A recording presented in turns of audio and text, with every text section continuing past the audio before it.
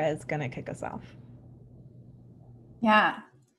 Thank you so much to Josh and Chanel, um, to Root Cause Research Center and BLM Louisville, and all the other groups involved. Um, and thank you for inviting us to have this conversation with you guys today. Um, my name is Terra Graziani. Um, I help run the Anti Eviction Mapping Project, which is a collective of researchers, storytellers, organizers, and tenants using data, maps, media, and storytelling to fight for tenants' rights and housing justice. Uh, Elana Eden uh, joins me today in um, presenting on behalf of the LA chapter of our project. Um, and we're also joined by Sasha of the Los Angeles Tenants Union, who introduced herself a video. So today we want to start by proposing the question, what is housing justice? Um, or I think it's the next slide. We can go back to this one. Um, so what does justice for tenants mean? What would it mean if you, if we as tenants had control over our housing? This question and how we get there is what we'll be talking about today. So for us, housing justice means community control. It means tenant centered organizing. It means housing security. It means housing justice as racial justice. It means the abolition of rent. It means safe housing. It means habitable housing. Um, means cop free neighborhoods. It means that housing justice isn't just about the individual, it's about neighborhood justice, it's collective care. Um, and so we want to call you to share out thoughts in the chat on what housing justice means to you. Any words um, or feelings or thoughts that you that came up when hearing that question. And hopefully people will follow along in the chat. So to go back to the agenda slide, I want to talk through real quick what we'll talk about today. Um, we'll talk first about what it means to be a tenant and the power imbalance between the rights that tenants have in this country and the rights that property owners have.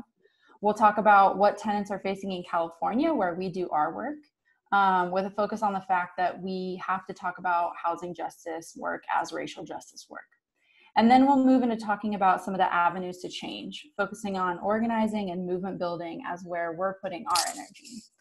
Um, so, and then Sasha from the Los Angeles Tenants Union um, will be moving us into a tenant organizing 101 and talking about some of the recent campaigns that the Tenants Union has done in LA. Um, but before we get started, um, I want to ask, uh, share a little bit about um, who who the Anti-Eviction Mapping Project is. Um, and so um, our work has many purposes, including documenting tenant experiences, building community power through data and mapping and the production of knowledge, uh, through informing policy uh, and laying the groundwork for a radical vision for housing justice. Um, we do all of our work in partnership with tenants' rights organizations and communities directly impacted by eviction, displacement, and gentrification. Um, and I just included a few of our projects that we're working on in LA. Um, we make interactive maps that track and illuminate patterns of eviction. We have our oral history project, which seeks to document tenant, tenants narrating their own experiences of living in LA. And we have a project looking into art washing, um, like galleries and other like fancy art institutions moving in and gentrifying the Boyle Heights neighborhood of Los Angeles, and many, many more, which we'll touch on as we go through this presentation.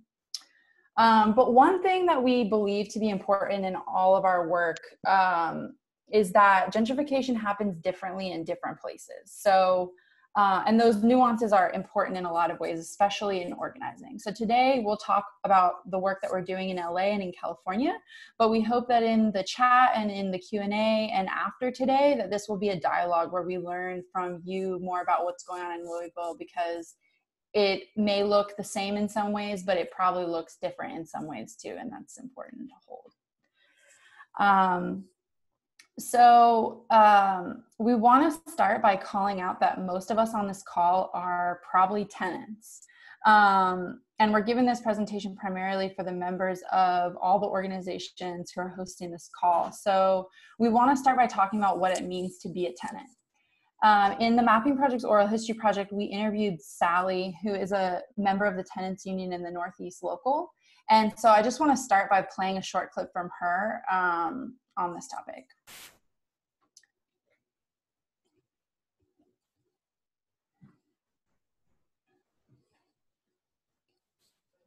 Oh, I don't think we can hear it. Oh, it's because you're you're muted, Elana. Duh. okay. Sorry. Um, let's see. So just close it. Close it out. Oh. Sorry. Sorry. We all raised our kids, and then they went off and bought homes. My home. Yeah, that's where I live. That's where I raised my kids by myself when I got divorced. That's you know my whole life. My family yeah. lived there. I had seven siblings living in that building and we all raised really? our kids. And then they went off and bought homes. That's the kind of owner. That's one of the owners around this neighborhood. And then when they pass, these are the people that come in like sharks and just want money. Years ago, it was people wanted owners wanted people to stay happy in where they lived, not feel like they had to leave.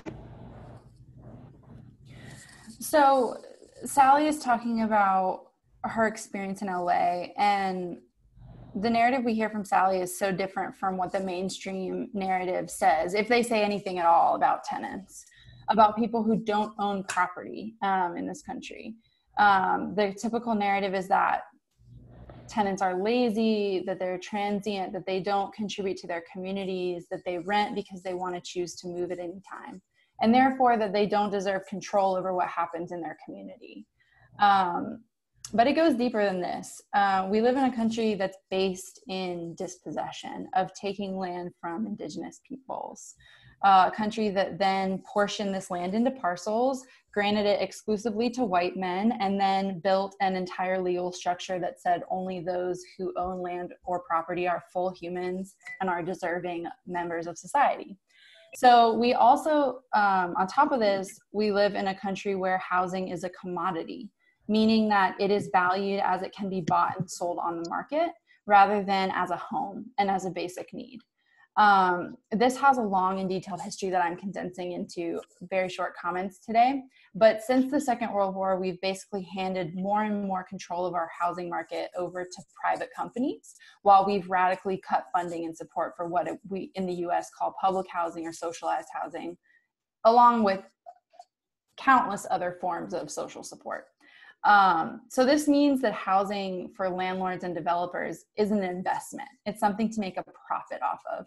And Elana will talk later about the fact that the legal system ensures this right to profit off of the housing that they own to property owners.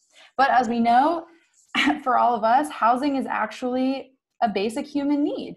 Um, and this disconnect of incentives with a huge power imbalance towards those who own property is why we're seeing the violence of eviction, displacement, and homelessness in our cities and towns all across the country. So this all makes uh, what I just described makes up a very deep-seated common sense in our society um, that shows up in significant ways for tenants, especially along lines of race and class. So we want to hold this history as we talk about organizing tenant power today because it's at the root of what we're up against. Um, so with that, I'm going to pass it to Elana, who will talk about how some of this um, manifests and affects tenants today. Terra. So yeah, so um, the way that this plays out in our uh, conditions today that we live in is um, this disparity of power, this disparity of rights and legal recognition. Um, it's heavily balanced toward landlords, even in um, California, which is often considered to be the state with the strongest tenant protections, which is like a scary thought, actually. Um, but so when we think about like the scope of the rights afforded to tenants or the protections as they're called as well. Um, one is rent control so in the sphere of rent and we don't even have true rent control. We usually have rent stabilization which is where um, the government will allow a range of rental increases but the starting rent can be whatever they want. So there's still a lot of room for maneuvering for the landlord um, just cause are eviction protections, and this means that the landlord uh, must state a valid reason to evict someone. And this is considered a really important protection in the tenant rights world because otherwise the landlord could just evict with no reason at all. Um, but even this, like even this victory for us, is still so limited and still explicitly allows a lot of evictions, um, including reasons that are explicitly not the tenant's fault. Um, tenants also have rights and protections around habitability. Um, the it's sort of assumed that the landlord is supposed to provide good quality housing, safe and clean conditions. Um, but I think probably all of us have a sense of how far this is from reality. And certainly, if you have ever tried to call an inspector to your place, you probably know that this is not enforced um, well at all. Um, so another area of rights and protections that tenants are meant to have is fair housing. And fair housing is um, part of the civil rights movement, um, and it's meant to prohibit discrimination in housing. Um, the idea here, the base here is that it will ensure equal access to housing that you can afford. So, baby this idea of um, being able to afford something, having the money for something as being like an allowable barrier to housing, that, oh, sure, like certain aspects of your identity are not an acceptable barrier to accessing housing, but money is. So this is still really confined in this liberal capitalist imagination um, that doesn't respond to basic needs. So i just want people to think about like the limitations of these of this legal framework for tenants. And then when it comes to property and the powers that property owners have these um, are much broader. Terra mentioned the right to profit. That's an insane thing to think about um, but in california at least it runs deep enough that even if a property is rent controlled or rent stabilized the landlord, if they feel like they're not making enough money, can apply to become exempt from this regulation, all based on whether the landlord believes they're making enough money off of this investment, off of this commodity. Um, eviction, as we mentioned, even with the strongest protections that the tenant movement, um, you know, can can fight for, or that we have so far, landlords can still evict for many reasons and will often find a reason or create a reason to do so, as I'm sure we all know. Um, and then I just wanted to flag this bigger idea of control over the property. The landlord or the property owner is the person who decides um, whether to invest in the property, whether to maintain it, whether to keep it in good condition. And also, of course, they have um, access to the home as well, which can, in some cases, be dangerous, um, depending on who your landlord is. Um, but this idea that the even without these sort of legal protections, the power imbalance is inherent to the landlord tenant relationship because the decisions that the landlord makes impact our most fundamental living conditions, um, our safety, our ability to just have a normal day. Um, so this is really important. And yet, landlords are so unregulated and so unmonitored.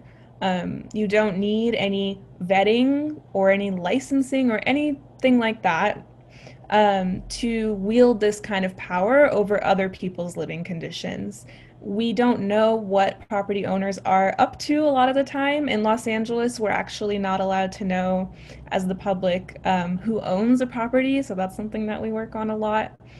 Um, so there's an enormous amount of power and discretion that is left up to the property owner, even though the person impacted is actually the tenant. And um, yeah, I was going to say first, actually, sorry, that um, you can imagine that the way that this plays out in court when there's an eviction case is similarly really, really imbalanced um, in favor of the landlord. And I can speak to California tenants have an extremely short turnaround to respond to an eviction in exactly the right way. Um, otherwise, they can lose their homes automatically. And uh, in general, probably if you've ever done court watch, you know this as well. But judges are not friendly to tenants. They believe the landlords. They just want to sweep the tenant through, get to the next one. They feel like it's their job to solve the problem that the landlord is having with their investment, protect the landlord's money, basically. And so I think, you know, one way to think about why things are like this is that we live under landlord rule. And I can say that in California, over a quarter of our state legislators are landlords. Um, this is our uh, Speaker, Anthony Rendon, uh, a landlord as well. And um, of course, not to mention our national federal government, we are literally being ruled by slumlords and um, racist developers. So you can imagine how this plays out, um, that this would only reinforce this power imbalance. Um, and I do want to shout out the LA Tenants Union, who will, as you know, be speaking later, for doing a lot to position tenants as a political bloc in Los Angeles, um, someone that has to be paid attention to, community members who do care about their homes and their neighborhoods and have a stake and will fight for them. So, um, it may not be surprising that the landlords in power um, sponsor and forward politics that are designed to make money for landlords and developers. Um, and the YIMBY movement has been a particularly successful example of this. Um, I'm not sure how familiar people are with YIMBY. It stands for Yes in My Backyard, as in um, build wherever. Um, and I have on the screen this uh, sort of, you know, tongue-in-cheek uh, quote that whatever the problem, development is the solution. This is basically what the YIMBYs espouse. Um, it started in the Bay Area. It was funded by tech and real estate money. Um, and the goal was basically to put a white millennial yuppie hipster face on the on Reaganomics and the idea that more unregulated development is the only answer to housing affordability. So they use a lot of progressive language, but ultimately they are pushing for free market, deregulation, trickle down um, supply side uh, theories. So the idea that if you build any housing, no matter who it's for, even if it's luxury, most expensive possible, um, ultimately everyone will benefit from this over time, over who knows how much time. So that's YIMBYs. Um, and of course, if you are going to try to develop anywhere as quickly as possible, you're going to go where the land is cheap and because of a long history that Terra referenced and that we're not going to fully unpack today, but um, a long history of devaluing, um, disinvesting from communities of color, a history of redlining and distributing funds based on racial composition of a neighborhood. Um, what this means is that that land, the development opportunities are in the poorer neighborhoods, the communities of color. Um, so this is a model that is literally gentrification.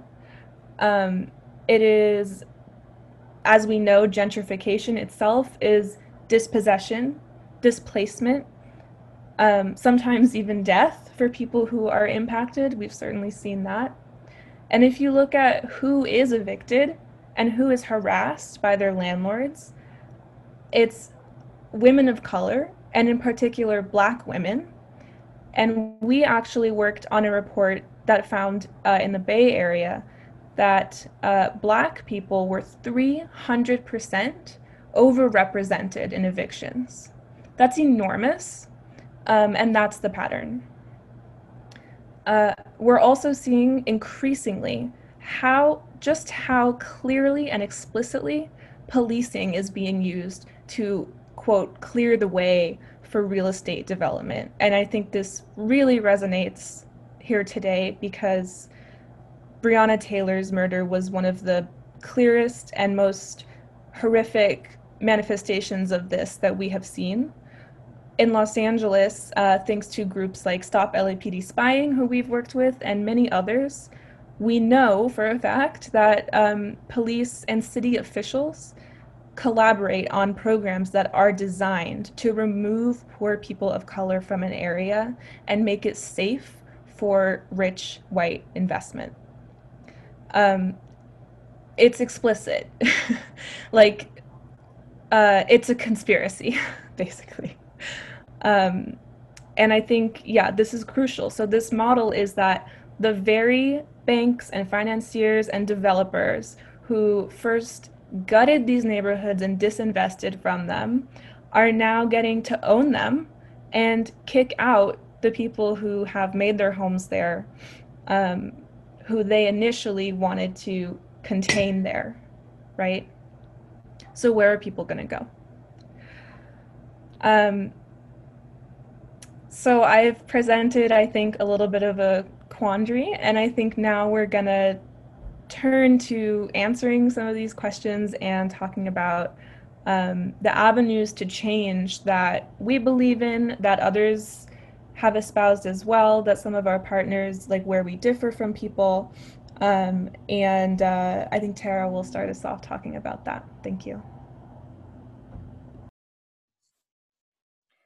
Thanks, Elana. Um, we want to go to the next slide, um, I am going to talk briefly about um, Wall Street landlords as a uh, another threat to community control of housing. Um, so, um, assuming folks on this call have have heard the term Wall Street landlord, um, but basically since the housing crash of 2008 um, Wall Street has been able to buy up huge swaths of housing all over the country and rent it out.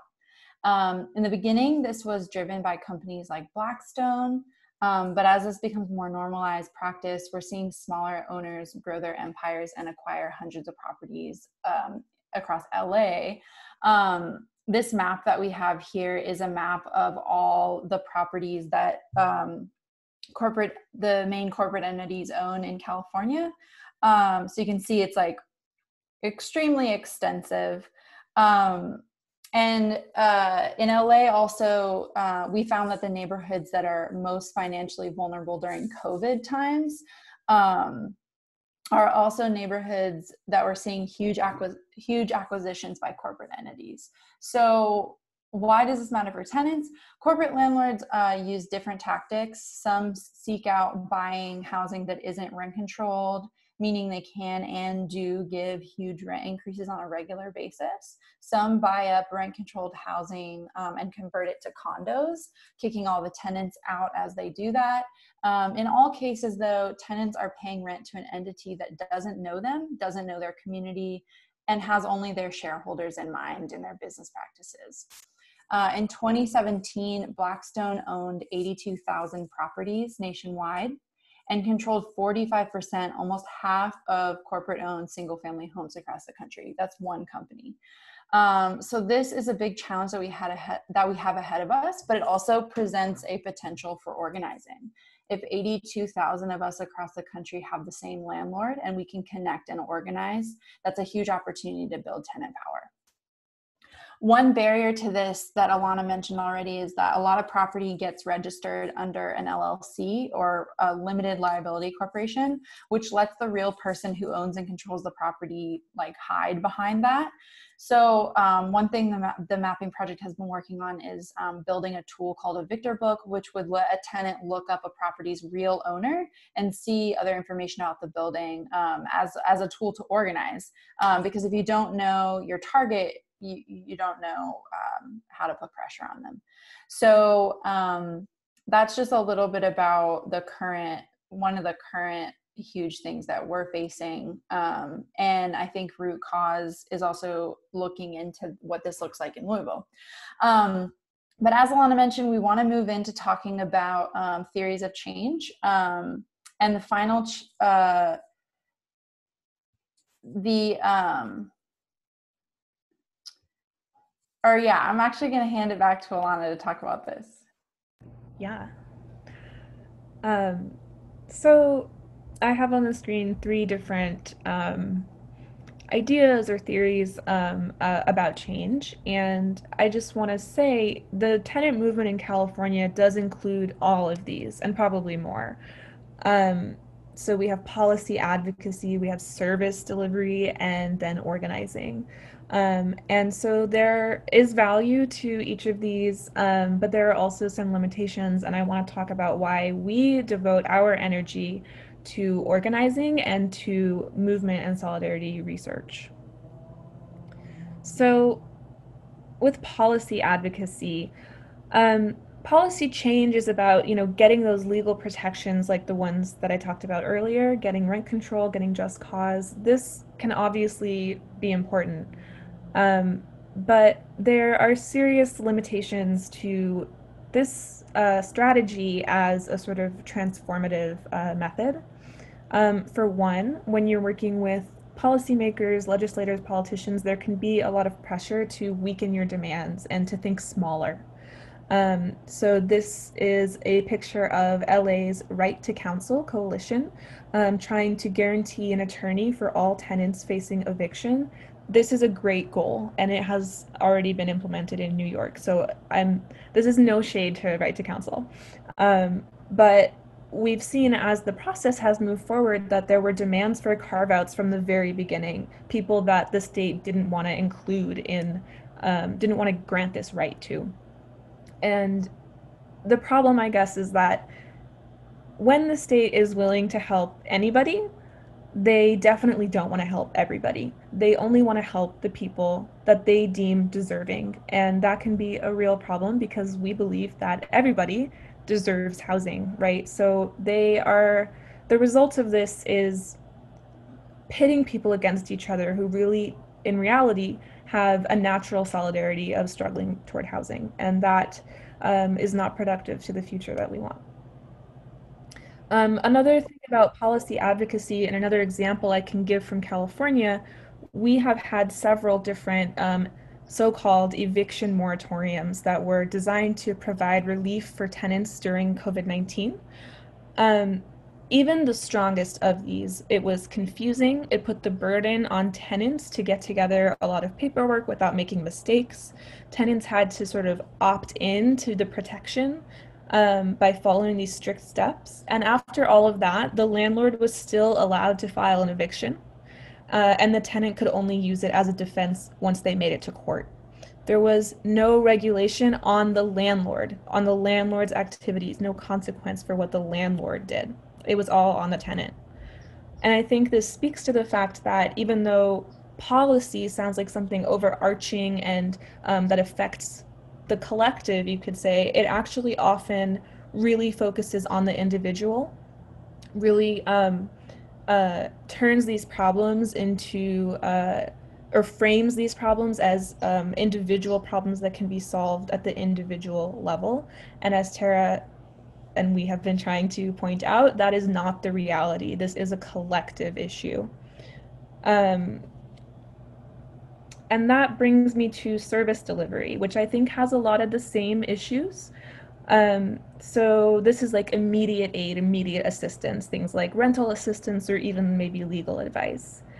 Um, so again, there are carve outs. Again, there are limitations because a service organization may be taking donor funds or maybe taking public funds. They may be limited to the activities um, in their contracts and not able to expand their scope.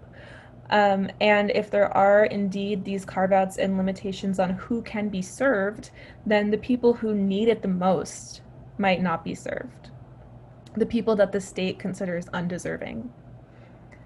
And again, service delivery, of course, it's important. People need help now. That is not debatable. But the uh, the scope of the work here um, the imagination available in the work here is again targeted at the individual household. Like it's their problem. It's sometimes even it comes off like it's their fault. Um, one example that I hate is like financial literacy programs as a supposed solution to poverty, right?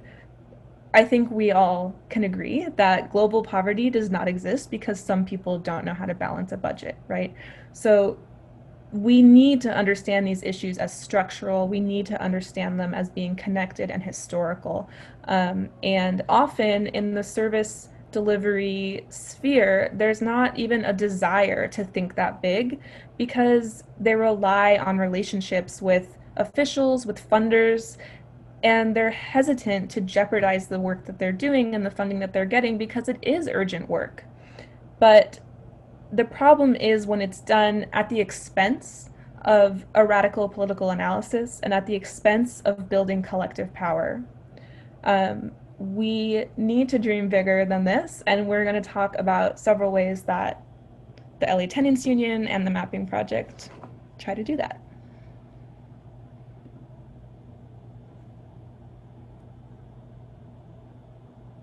You're on mute, Terra. I think we're going to talk about this after Sasha talks.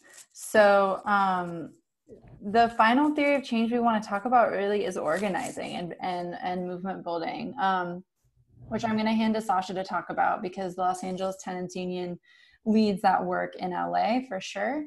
Um, but before I do, uh, I'm going to play another clip from Sally about being what being part of the union has been like for her. Yeah. All right. Some of these people have already been past what you're going through now, Sally, and they're still sitting here. And Olga, one of them, we go together. She's already done the fight. She she doesn't want anybody to feel like she felt. Yeah. And I just love her for that because we could be angry and say, well, why should we care? Mm-hmm. We don't need to come anymore. No, no. You give it forward. You give it to the next person. And You say, look, I'm, I survived. I'm still here. Mm-hmm. So now I'm going to help you. I know what to do. Mm-hmm. That's what we have to do. Mm-hmm. And that's what everybody should be doing. Mm-hmm. That's what your neighbors used to do. And that's what the union makes me feel like when I was growing up and, you know, the lady next door didn't have tomato sauce. Here, go take that. Go take that to our neighbor. She needs it. Mm-hmm. Oh, okay. And you learn. Mm-hmm. You know what I mean? So we're learning again to reconnect mm-hmm. to our community, not just our neighbor.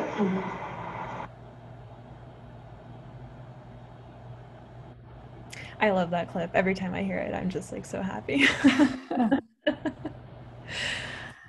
um, all right, I'm gonna stop sharing and uh, kick it to Sasha. Awesome. Um, Talk about the tenants union. Great.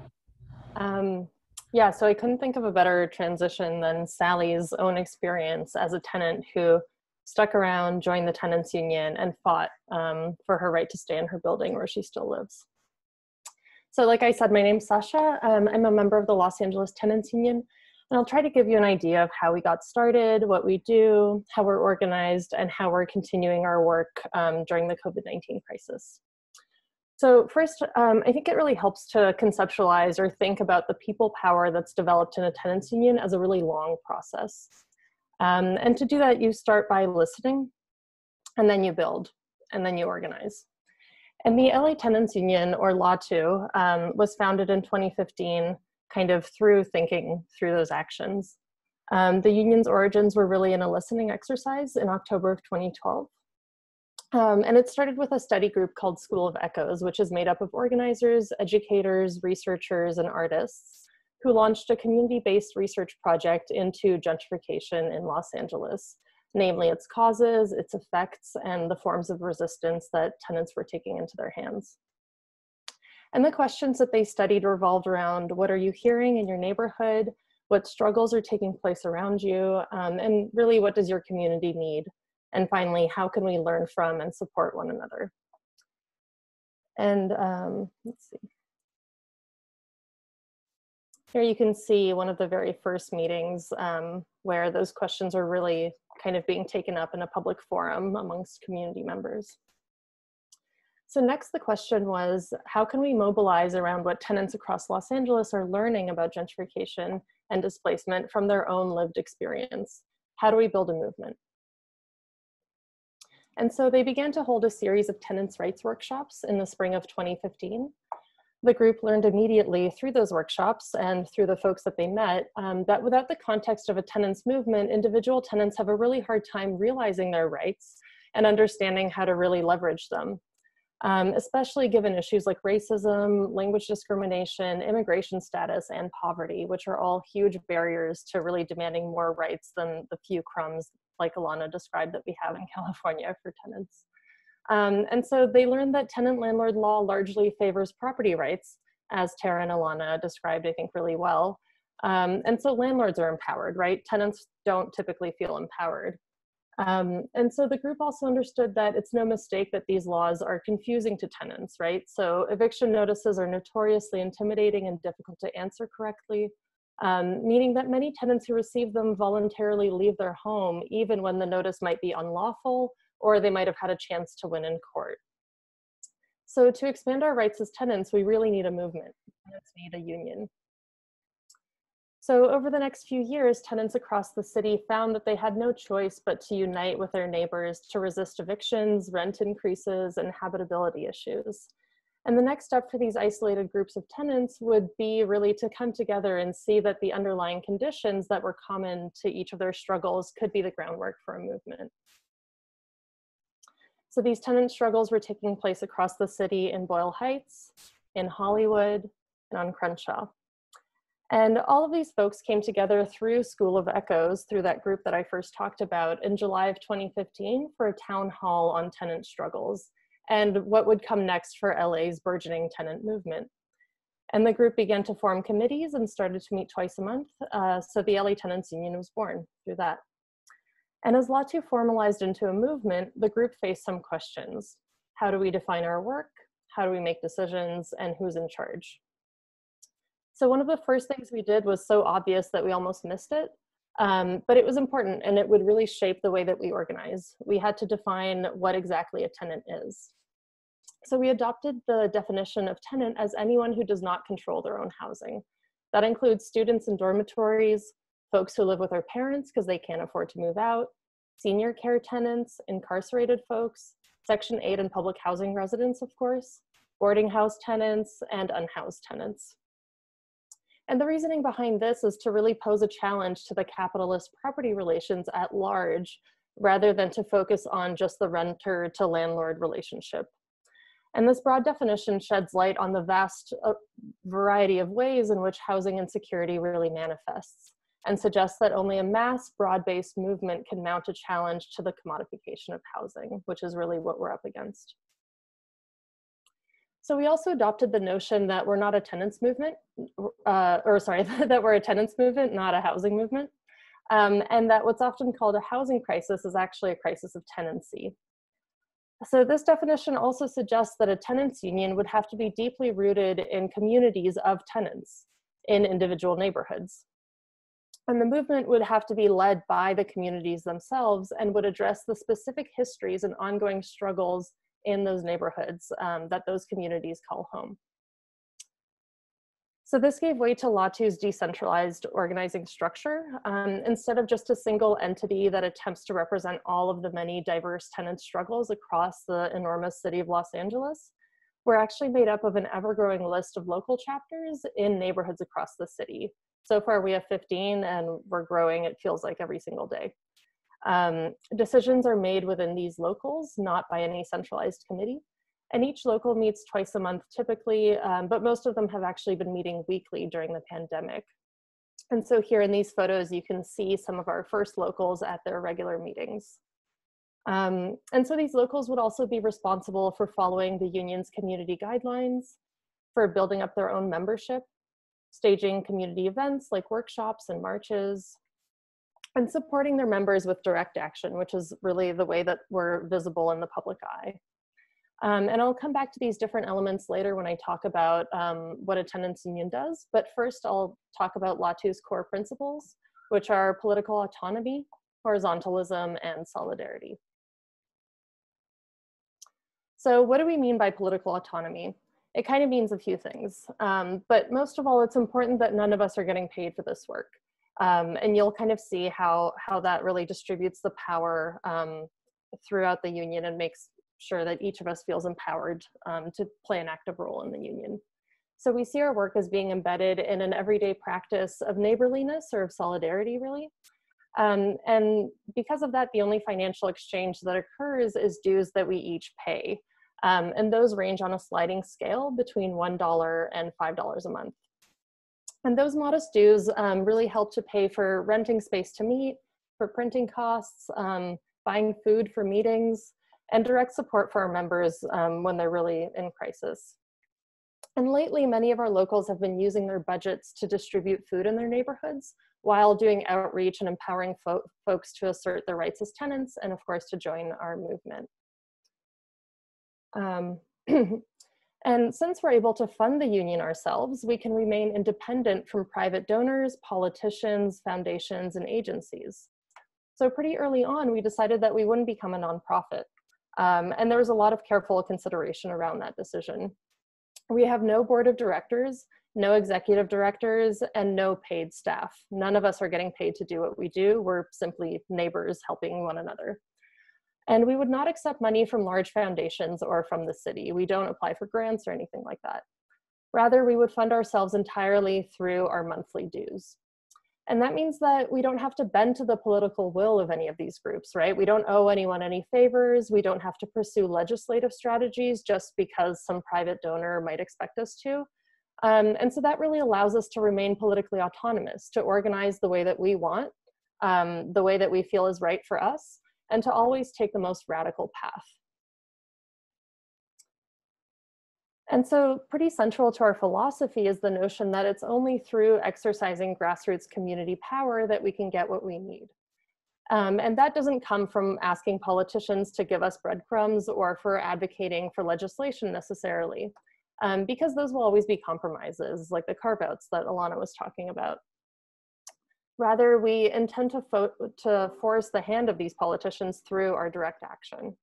Um, and our definition of tenant power really comes from the notions of community defense and self-determination, um, which will never come through legislation. And so um, we don't have any figureheads. Um, we see ourselves as a leaderful movement, meaning that we distribute power horizontal, horizontally instead of through a hierarchy. So everyone in the union has the potential and freedom to step up into leadership roles. Um, and this really stems from an understanding that systems of hierarchy create power dynamics that are kind of antithetical to the kind of movement that we want to build and the kind of fundamental solidarity that we believe in. And similarly, we're committed to solidarity and mutual aid practices. Um, that means that we're not a service provider and we don't host legal clinics or anything like that. Um, and what that means really is that we actively try to dispel the idea that you come to us with a question, we answer your question, and your problem is fixed, and we never see you again, right? That's service provision. Um, and the reason we work that way is that gentrification, systemic displacement, mass evictions, and high rents will never be solved through individual service provision. Service provision is basically a band-aid, right, or a temporary solution. Um, but what we really are trying to do is to build a movement to mount a challenge to these structural issues, which we um, are very adamant to say that these are not individual problems and that many more tenants than we, than we realize are really in this struggle um, together. Um, sorry. So um, what we try to foster really is an environment of neighbors that support one another. Um, and that starts with learning your rights and uniting with other tenants from across the neighborhood to fight and expand those rights. And after all of this, you might rightfully still be wondering, what does a tenants union do? Like what, what do the mechanics of day-to-day -day tenant organizing look like? And what does it mean to be a member? Um, and so I can kind of lay out a spectrum of actions that we take or tactics that we employ, um, understanding that climbing up in the scale of these actions requires building capacity. So the sort of base level um, intro to tenant power um, would be learning your rights. Um, and then very quickly you'll understand that they are never enough. And this is the first step for any tenant in becoming empowered um, and being able to advocate for themselves, for their neighbors, um, and for their community and demanding more rights. And the way that a tenants union can facilitate that is by hosting tenants' rights workshops as a form of outreach um, whether it's an independent event or an info table that's set up in a public space, or at a community gathering. Oops. Um, it can also take the form of a neighborhood march that gets the word out about your work, handing out Know Your Rights flyers to folks that are stop stopped at traffic lights, um, or meeting people outside of grocery stores and inviting them to meetings. Um, second, a tenants union provides a community space where tenants provide each other with emotional support and collectively strategize how to address tenant crises using organizing strategies. And you can do that by holding community meetings that are open to the public, um, which we really see as having the potential to become the civic spaces that American towns and cities are lacking. Um, and each of our space, or, or, each of our locals in the tenants union meets in a community space in their neighborhoods, um, such as a library or community art gallery at least twice a month. And these meetings generally center tenants in crisis um, who will come to the meeting with an issue that they're facing, such as landlord harassment, disrepair, rent hikes, or eviction notices. And we make it clear right away that we're not lawyers here to provide legal advice. Um, and from there, we collectively workshop what the tenant's options might be um, and how the whole group can really support them in their struggle to keep their home safe, um, affordable, and habitable. Um, and I'll talk about our tactics and kind of where we go from there in supporting tenants um, in a little bit. Um, but typically at the end of the meeting, one or two people from the meeting will follow up with the tenant. Um, and then ideally the tenant will become a full-fledged member of the tenants union and in the future sort of pay it forward. Um, so as far as actually tackling uh, a tenant to landlord struggle head on, um, the first step is really um, realizing that a tenant is much more empowered to assert their rights in the context of a tenants union. So landlords assume that tenants don't know their rights and won't advocate for themselves. So often the first step that we'll take is um, writing a demand letter to a landlord on union letterhead. Um, and often we'll deliver that demand letter with kind of a small delegation of members from the tenants union as a first sort of initial show of force. Um, and then from there, we'll, we have a kind of number of escalating uh, tactics that we'll use. So probably the most subtle that we do is a phone zap, um, where we ask the public and our 2,000 members to call a particular landlord and read a list of demands on behalf of the tenant that's facing these issues. Um, we'll also call for a boycott of the landlord's businesses and kind of picket outside of the businesses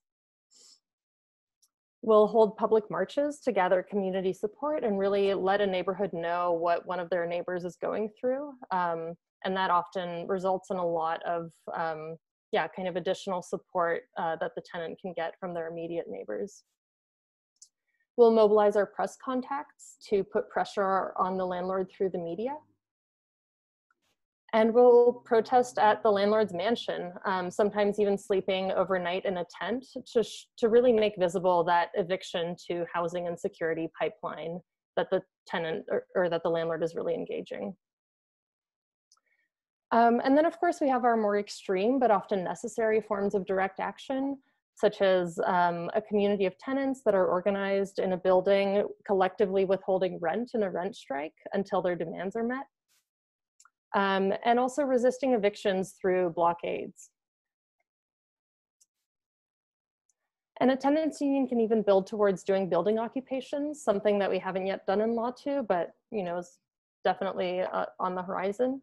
Um, and all of these really have the goal of getting the landlord to the bargaining table, um, where tenants will have the support of the union in negotiating their rent um, when it's about to be jacked up, in asserting the right to stay in their homes when they're threatened with eviction, and so on. Um, and again, landlords are really used to tenants who don't know their rights. Um, so much of what they do when uh, to sort of harass a tenant into moving out is illegal. Um, and when tenants know their rights and raise even a little noise, the landlord is already caught off guard. But with a whole union, we can raise hell, and the landlord is suddenly facing a years long legal battle over a few thousand dollars that they might make from raising the rent, and they're kind of forced to consider whether that's worth it for them. And so you might still be wondering, what does a tenants union look like? Like, how do you guys actually organize? How do you communicate? Um, so I'll kind of uh, use this sort of scientific diagram of how uh, Law 2 is organized. Um, so we're kind of looking through a magnifying glass at sort of a cell cellular organism. And you can think of these little dark dots as individual tenants. So we're kind of taking it back to the level of an individual tenant and looking at how they can collectivize with their neighbors, their neighborhood, their city, and eventually potentially kind of a continental scale or global movement um, of tenants. Um, so imagine that these little dark spots are neighbors. It all begins with those neighbors talking to each other, um, getting all of their neighbors on a text thread, for instance. Um, and this might take the form of tenants in a single building, which is probably the most common way that we organize. Um, and they'll form what we call a tenants association. So you can see that those tenants are no longer alone, they've collectivized. Um, and those tenants can also form block committees, which are um, one of our locals organizes that way, where um, we form connections between buildings that are directly next to one another. And that can really lay the groundwork for um, a rapid response thread, right? So if one of the neighbors is experiencing any kind of crisis, whether it's um, emotional or mental health or even medical crisis, um, they can they'll, they'll be able to call folks who are right around the corner. Um, it also lays the groundwork for community alternatives to 911. Um, so really building neighborhood support um, to build those cop-free neighborhoods that we mentioned earlier. Um, and really lays the groundwork for a more vibrant, supportive neighborhood or a stoop culture where folks really know one another. Um, and so those TAs and block committees in a neighborhood come together to form a neighborhood assembly, or really what in the LA Tenants Union we call a local chapter. And so that's kind of the cell here that all those tenants associations are, um, where they're kind of coming together to share updates on their struggles and supporting one another. Oops. So once we start uh, zooming out and kind of putting down our magnifying glass, we'll see that the neighborhood assembly actually makes up just one local chapter of a citywide union. Um, and that really allows the neighborhoods to multiply their power and to learn about and support the wide range of tenant struggles that are taking place across the city. Um, and really to strengthen and unify the demands across the citywide tenants movement. Um, and in LATU, our citywide union has committees that are a kind of sinew or glue, and those are these sort of um, purple star-shaped things that really hold the union together. So we have a, a, committee for dealing with our finances. Um, we also have a committee that deals with media, which kind of act as press liaisons, as well as running social media, and they write, design, and photograph and film for the union. We also have an outreach committee, which oversees union-wide events um, and helps found new local chapters, as well as building relationships with other movements. And lastly, we have a language justice committee, which provides Spanish to English interpretation and translation for each of the locals and helps us maintain fully bilingual spaces. And so if we zoom out even more, we'll see that through our outreach committee, um, our union actually helped found what's called the Autonomous Tenants Union Network. And that's sort of a union of tenants unions. It's a resource for new tenants uh, unions that are just getting started, um, as well as a space for tenants from across Canada and the US to share strategies and sometimes even hold concurrent actions. So five years might not seem like that much, but it feels like quite a long history that we've learned a lot from already. Um, and it's important that to note that none of this was easy, nothing that we've won, um, none of our growth, uh, you know, the formation of all those chapters, it's really hard work. Um, it beats you down. Sometimes it's discouraging, um, but it's worth it. Um, and so the few victories that we can claim did not come without a fight. The spread of organized tenant power has only reemerged in the US in the past 10 years. So there's not a ton of precedent for what we're doing, though that's not to deny all the important work that's happened in the past century or so in the US. Um, and you know what that really means is the laws are not on our side. And even the public will take a lot of convincing to buy into our basic principles, which are really that no one deserves to be without housing simply for being poor. Um, and so we've learned some really important lessons along the way starting with um, the Marmion Royale Tenants Association in September of 2016, which you see in this photo here. So immediately upon forming in September of 2016, the, North, the Northeast Local um, organized to support the Marmion Royale Tenants Association, which had gone on rent strike that May to fight against unfair rent increases in an apartment building that was poorly managed um, and had racist management. So while some tenants of the building won settlements as a result of the strike, no one was able to stay in the building. Um, and so that's, to us, that's kind of really what we want. We want people to be able to stay. And so this experience was really an important lesson for LATU. Um, one on the necessity of uh, LATU centering the tenants in the organizing and not the lawyers. Um, and the need to build larger community support, doing outreach to neighboring buildings, um, and really making a show or kind of laying the groundwork for a show of support from the neighborhood at large. So we've also learned from our victories, um, such as that of the Mariachi Crossing Tenants Association, which you see in this photo. Um, and so in April of 2017, the tenants of this building uh, launched a rent strike to resist unfair rent increases. And the strike was a huge success, um, resulting in rent rollbacks for the tenants, which is much more than we usually aim for. Um, so not only were they able to stay and have stabilized rents, um, their rents were actually lowered by the end of their fight. Um, and they're still living in their apartments today. And from this campaign, we learned the importance of broad community support and the strategic use of direct action against the owner, um, as well as supporting the tenant's own decision-making process, including the use of solidarity strikes among tenants who were not receiving the same rent increases um, and might not have, or might not seem like they have as much skin in the game. Um, and other victories that our members have won through organizing have been um, winning new building management that speaks the language that most of the tenants in the building speak, um, ending cash for keys offers, which are uh, when a landlord basically attempts to bribe a tenant into self-evicting.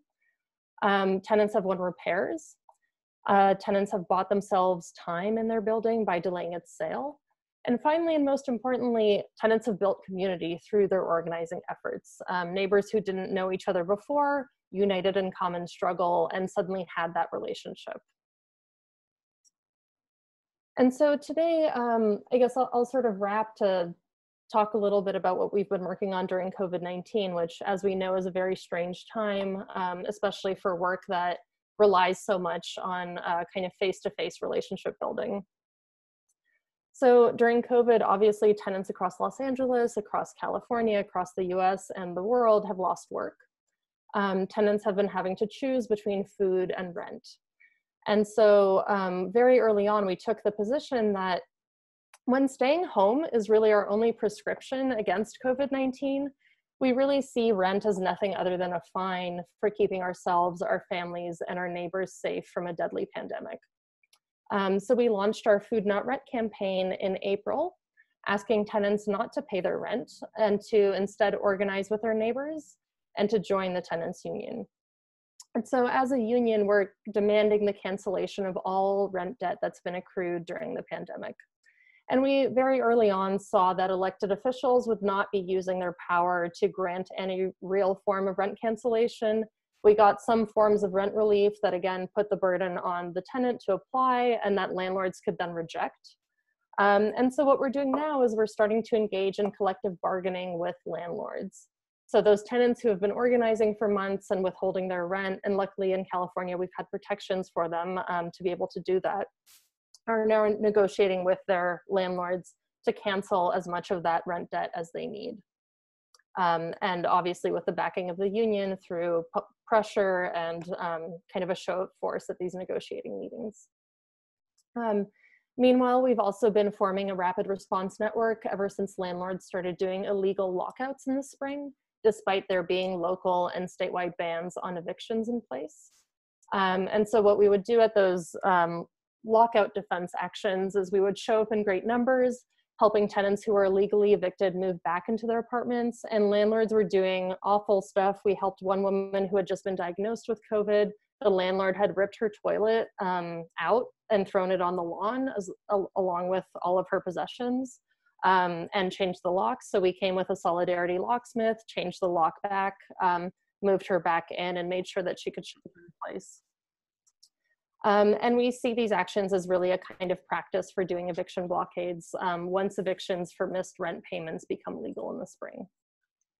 We're also doing popular education through town halls in the Autonomous Tenants Union Network and through our social media, um, politicizing that rent debt that tenants have accrued, um, showing that tenants are withholding millions of dollars from real estate investment in Los Angeles alone. Um, and through this, we're really continuing the work that we've been doing for years, which is moving the conversation around capitalist property relations to the left and explaining what we really mean and what we need and want when we say housing should be recognized as a human right. Um, and what that is really is a world without landlords and a world without rent. Um, and I think with that, I'll, I'll wrap and pass it back to Terra. Thanks, Sasha. Um, so before we go back into before we go into Q and A, um, since we're with Root Cause today, who is doing amazing work to build solidarity through their research, I just want to talk for a second about carving out spaces for research that are in solidarity with organizers and with the movement. Um, so much of what we're taught um, says that research or knowledge, which really just means investigation and meaning making, has to come from a university or accredited institution to be valid. And that's power that those institutions hold and wield. But what the mapping project has tried to do since its start is make a space where we're accountable to a different standard, where we're accountable to the movement and its needs. Um, this means that we ask different questions. We co produce knowledge with organizations like LATU. It means that we produce knowledge that looks different than what would come out of a university. Um, and I want to be transparent. We have members of our collective who have a foot in academia, but we aim to redistribute the resources we gain there to different ends. Doing research in support of a movement also isn't just about what gets produced. It's about the process of learning together, of making meaning together, which is a crucial piece of movement building. And it's hopefully what we're doing today.